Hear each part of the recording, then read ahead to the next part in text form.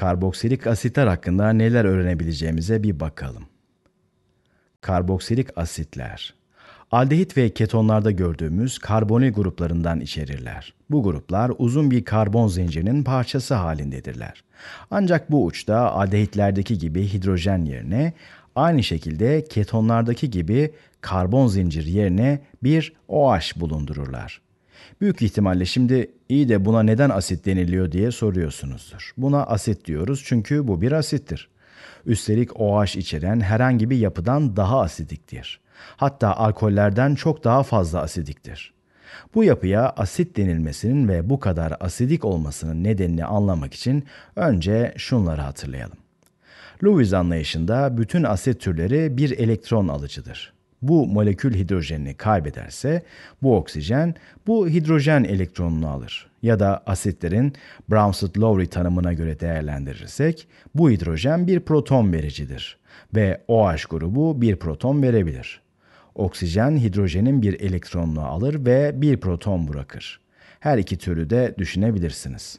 Sonuç olarak alkollerden daha asidik olmasının nedeni bir kere proton verdikten sonra rezonans yapı göstermesidir. Bunun ne demek olduğunu da hemen açıklayalım. Öncelikle oksijen ve hidrojen arasındaki bağı açıkça gösterelim. Oksijenin elektronunu pembe renkle, hidrojenin elektronunu ise mor renkle gösterelim. Bu molekülü bir su çözeltisinin içine koyduğumuzu düşünelim.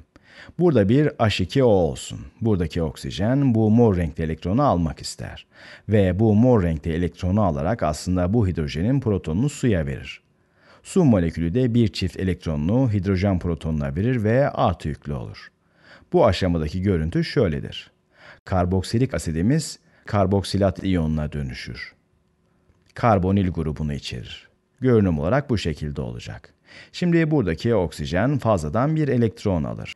Çizmek istersek de işte bu elektronu almalıyız. En iyisi çizelim. Bu oksijenimiz. Başlangıçta oksijenin iki eşleşmemiş elektron çifti var. Önce bu iki elektron çiftini çizelim. Bu pembe renkli elektron da başından beri oradaydı. Şimdi bu mor renkli elektronu da aldı ve şu anda fazladan bir elektronu var. Onları da buraya çizelim. Evet sayıyorum. 1, 2, 3, 4, 5, 6. 6 elektronluysa nötr bir oksijen olacak. Ancak şimdi bir tane daha elektron aldı. Yani 7 elektronlu bir molekül oldu ve eksi yük kazandı. Su hidronyum iyonuna dönüştü. Evet, burada suyumuz var. Sudaki proton veya hidronyum yoğunluğunu arttırdık. Buradaki bir su molekülü şu anda bir hidronyum molekülü oldu. Bu moleküle buradaki hidrojen protonu bağlandı. Bu oksijen bu protona bir elektron verdi. Böylelikle molekül artı yüklü hale geldi. Şimdi buradaki karboksilat iyonuna gelelim. Adını da yazalım. Bu iyonun OH grubu içeren herhangi bir molekülden daha asidik olmasının sebebi konjüge yani eşlenik bazının rezonans yapıda olmasıdır. Bu baz alkolün eşlenik bazından daha kararlıdır. Hemen gösterelim. Bu molekül eksi yükünü paylaşabilir. Çizerek gösterelim.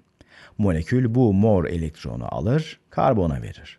Karbonun fazladan bir elektronu olur. O da bu elektronu yukarıdaki oksijene verir. Hatta bu yapısı sayesinde rezonans enerji kararlılığına sahiptir. Bunu çizersek de şöyle görünür. Sanırım biraz büyük oldu. Biraz aşağı kayalım. Evet, böyle görünecek.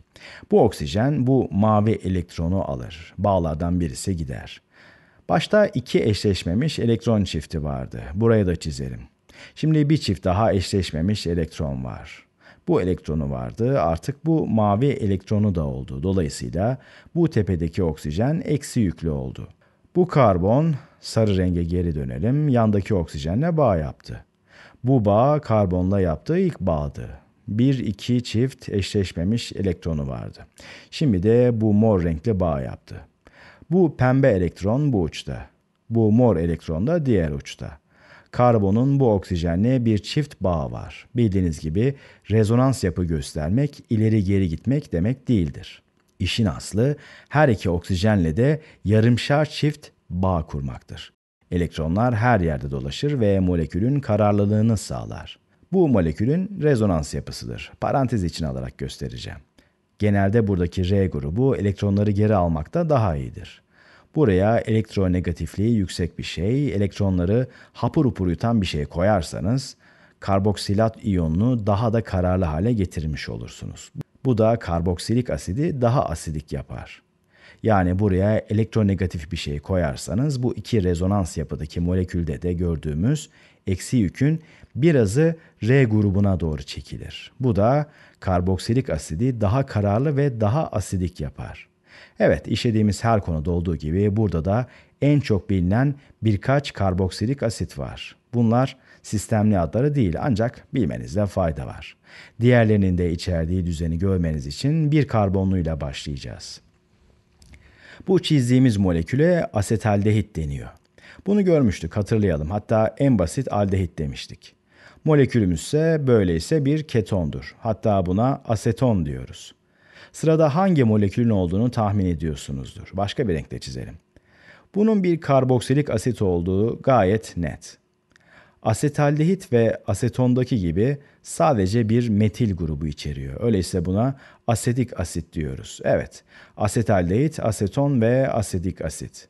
Bunları akılda tutmak bana kolaymış gibi geliyor. Çünkü üçü de bu aset kısmını içeriyor. Hepsi bu örnekte başlıyor ve hepsinde molekülün bu kısmı aynı. Hidrojen, metil grubu ve OH grubuysa bunları karboksilik asit, aseton veya asetik asit olarak ayıran farklılıklardır. Şimdi sizi üzmeyecek kadar kolay bir çifti de buraya yazalım. Asetik asitten bile kolay olabilir. İşte bahsettiğimiz formik asit. Son bir tane daha gösterelim. Aslında bununla ilgili geçenlerde bir videomuzda titrasyon örneği yaptık. Onu da izleyebilirsiniz. Bu molekül aslında iki karboksil grubunun birbirine bağlanmış halidir. Aşağı yukarı böyle görünüyor. Birbirine eklenmiş iki karboksil grubu fark edebilirsiniz. Bir karboksil burada, diğer karboksil grupsa burada. Aslında bu uç iki kere protondan arındırılabilir. Ve bu hidrojen ve buradaki hidrojen gider, geriye oksalik asit kalır.